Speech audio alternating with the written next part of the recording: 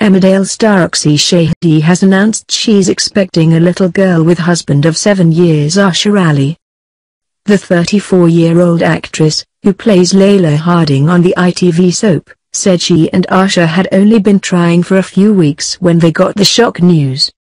Speaking to OK Magazine, Roxy said, to be honest, I was absolutely terrified when I saw the test was positive. I burst into tears.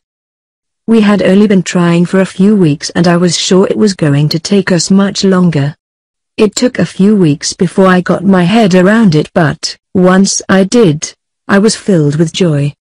Roxy also revealed Charlie Webb, who plays Debbie in the show, broke the news to her first, after correctly guessing she was pregnant.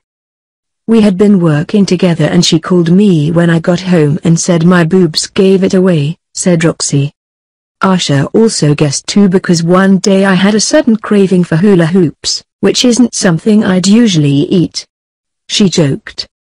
The brunette beauty met her husband Arsher, who starred as Hassan Malik in the comedy Four Lions, while they starred in a play together. Roxy said they've already picked out a name for their daughter.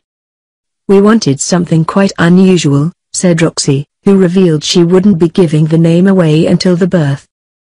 I'm dyslexic so I found looking at names hard, so I let Arsher suggest the ones he liked and we chose from them.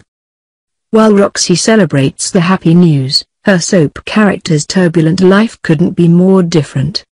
Viewers saw Leyla go off the rails after her wedding that never happened.